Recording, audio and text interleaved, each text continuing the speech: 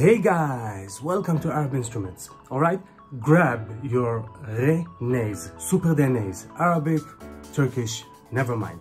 We're gonna play Husseini Urfa Divani. You know this tune?